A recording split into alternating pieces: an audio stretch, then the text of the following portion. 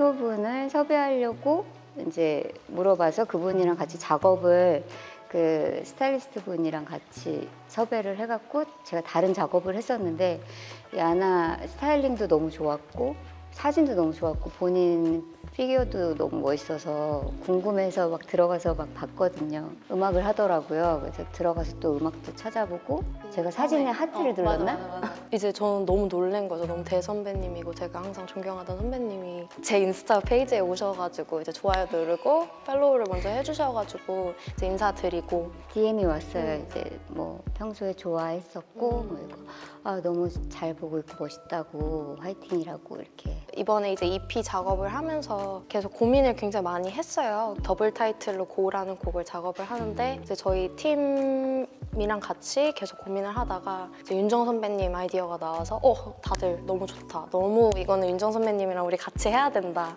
해서 이제 컨택을 드려서 저희 집에 이제 오셨어요. 진짜 너무 놀랬던 게 잠깐 쉬고 있는데 갑자기 선배님이 녹음하자 이래서 방에 이제 들어가서 바로 녹음을 했는데 첫 벌스 듣고 진짜 너무 놀래가지고 소리를 질렀어요. 아! 진짜 이렇게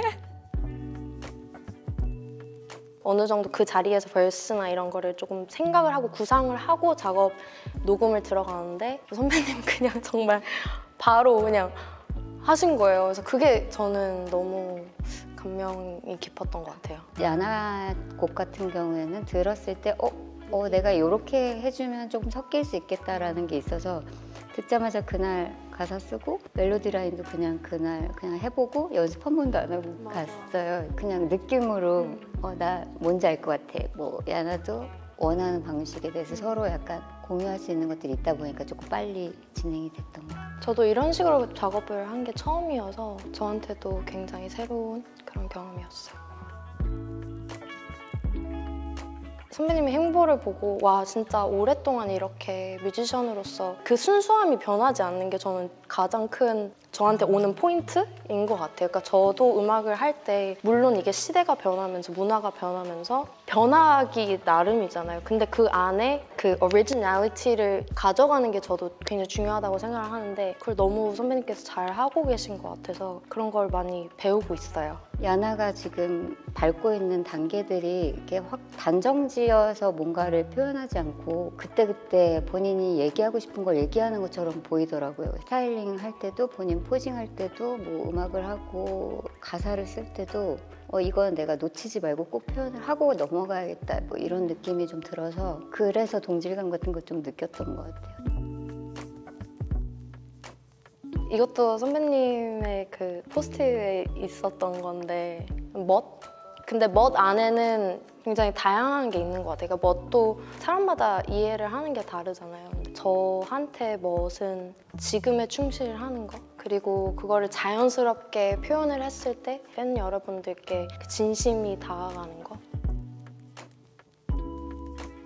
우주와 사랑과 어떤 universe 그리고 나의 identity에 대한 이야기가 이 시기에 해야 되는 이야기인 것 같아요. 저도 이 시기 때 그런 이야기를 굉장히 많이 했거든요. 지금은 제가 그런 얘기를 하기에는 너무 일상적으로 일어나는 뉴스에 대해서 사실 너네 이거 알아? 라고 해줄 수 있는 때가 온 것 같아요. 그래서 제가 막 툭툭 내뱉는 가사를 쓰는 이유는 내 얘기 좀 들어봐.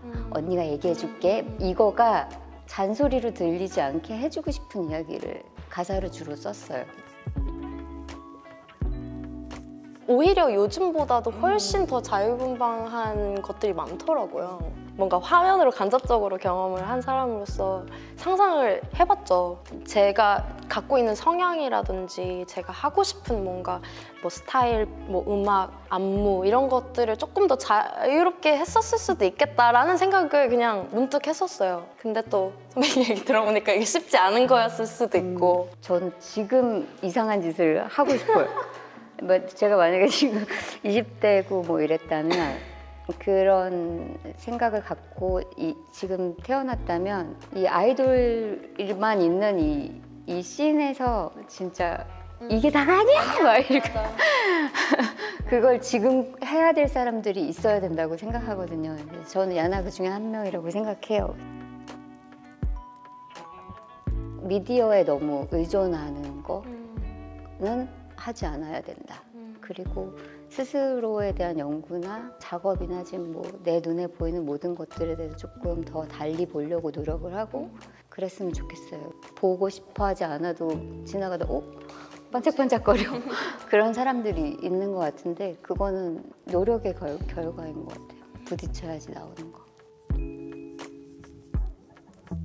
진짜 사람들이 다 미쳐서 음악만 즐기는 그런 페스티벌들 있잖아요. 그런 데를 정말 가보고 싶어요. 왜냐면 또 그런 경험을 하고 오면 또 굉장히 제가 느껴지는 게 많이 다를 것 같거든요. 저는 앞으로 생기는 모든 무대가 중국의 무대인 설수 있는 무대만 있으면 다 서고 싶다고 이런 생각이 드는 것 같아요. 왜냐면 아이도 키워야 되고 일도 해야 되고 또 뭐 음악도 해야 되고 뭐든지 내가 할 수 있는 일이 기회만 온다면 열심히 해야겠다라는 생각이 드, 들어가니까 앞으로 생기는 모든 이슈에 대해서 좀 감사히 겸허히 받아들이자